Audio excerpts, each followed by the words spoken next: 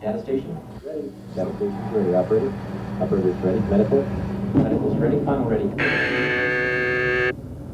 Final countdown. 9 G's, 15 seconds. Five, four, three, two. Throughout the history of flight, pilots in the cockpit have had to withstand heavy pressures on their body. The power and turning ability of today's fighters can push forces eight or nine times heavier than gravity through the human frame. Bear down, tighten up. Keep them nice and bright. The centrifuge puts a pilot Bear through down, a similar experience. Under these intense stresses, he must still be able to fly and fight. Nice and bright. To assess his ability to do this, he has to fly a computerized course. Keep the lights nice and bright. Release the stick. Unload. Unload. Keep straining. Keep straining. Relax. Catch your breath. Okay. Did you have any light loss? Yeah. Thank you. It's a good ride.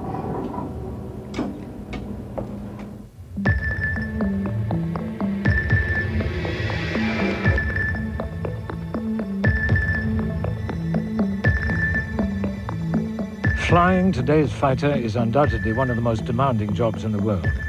It imposes intense physical, emotional, and intellectual pressures all at once. And as fighters become more complex, the strains on the pilot increase. Research is going on to find new ways of helping him fly his aircraft. Scientists are studying how a pilot's brain gathers information through his senses, how it builds up a picture of his situation, interprets it, and then makes his decisions. They need to know each stage of the process because their aim is to design a super cockpit that assists the pilot in his tasks, a working partnership between man and machine.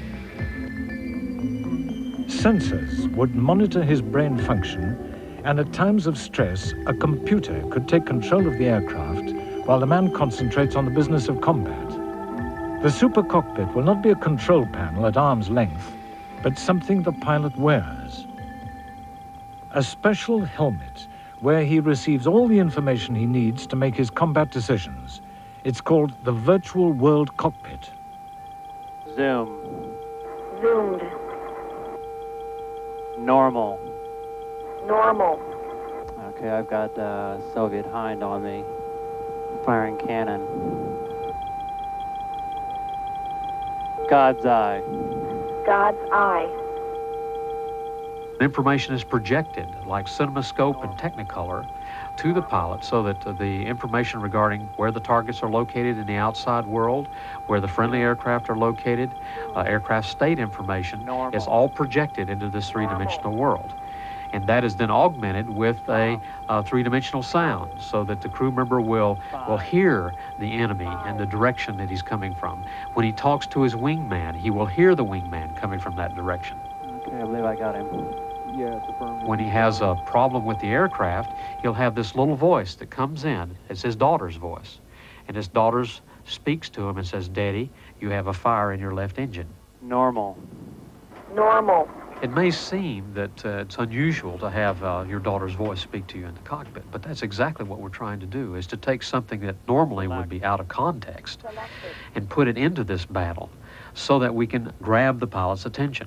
Zoom. Zoomed. Normal. Normal. If you're ready to start your run. The Okay, goal you're is still some way off, but the program has already had some payoffs. This helmet, for example, will help helicopter pilots fly and fight more effectively by day and night.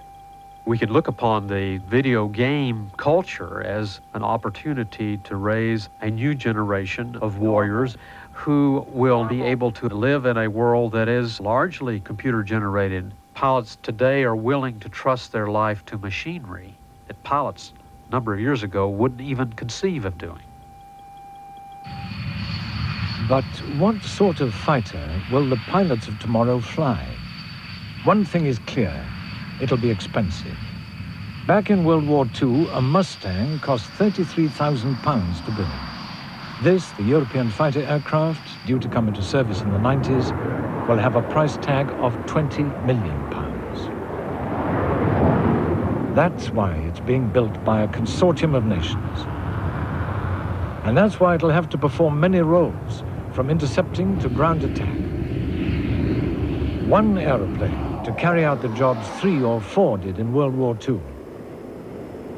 Recent wars have shown how vulnerable fighters are to anti-aircraft missiles. Like the SR-71, still the world's best example of aeronautical stealth, tomorrow's fighters will need a shape to fly undetected by radar and avoid the dangers from the ground. Designers like Lockheed's Ben Rich believe that the fighter of the future will need another capability. We're going to have to worry about the enemy going after our landing fields. We're going to have to worry about how we're going to come home. In other words, if they go and knock out our fields, we need to have airplanes that have vertical landing capabilities. So the next generation will have what we call short takeoff and vertical landing. Already some are questioning the need for manned fighter aircraft at all. As missiles become deadlier, as remote control vehicles develop, they foresee a time when a country can defend its skies without relying on pilots in expensive aeroplanes. The men in the cockpit naturally have a different view. Man in the history of man has never failed to beat a machine.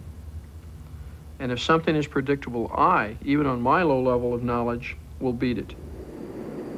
I don't care what the scientists say. You need the computer that the dear Lord gave us right between our ears and behind our eyes. It's the best one yet.